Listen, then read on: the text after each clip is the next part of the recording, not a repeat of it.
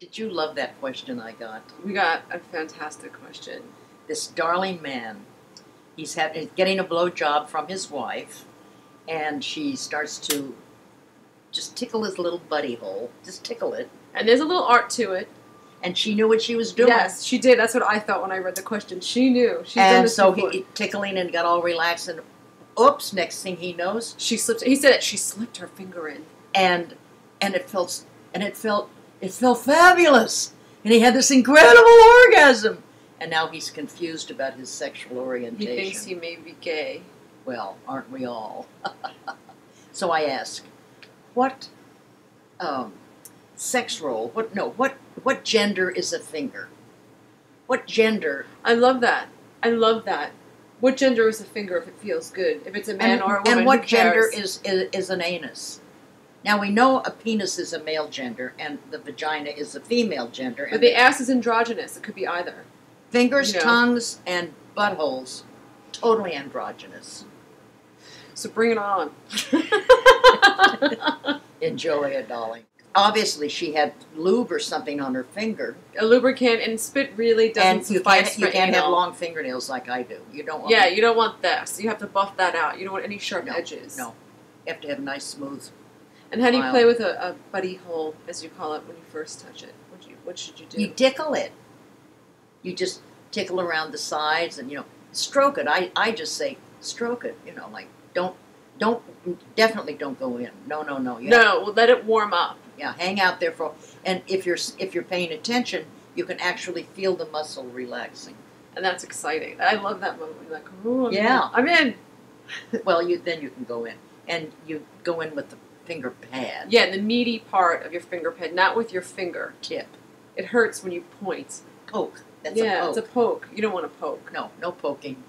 So yeah, it's and and slow and slow. And where is it?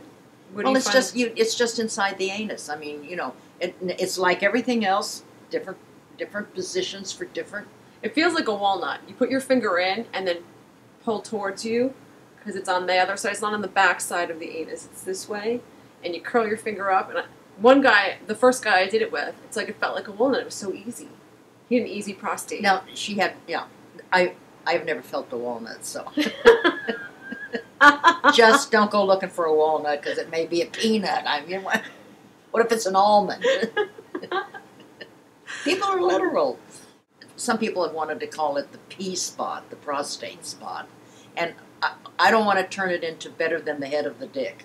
It's all good, but it's like clit stem with vaginal pen. When you combine them, Yeah, exactly. It's a winner You're doing, every yeah, You're doing penal stimulation and anal stimulation at the same time.